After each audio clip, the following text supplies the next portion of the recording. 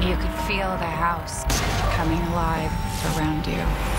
Next Wednesday. This land is mine. This was a mob, and they were coming for us. We should have known that we were nothing more than prey.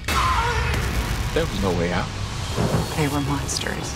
It was inhuman. It was all hope.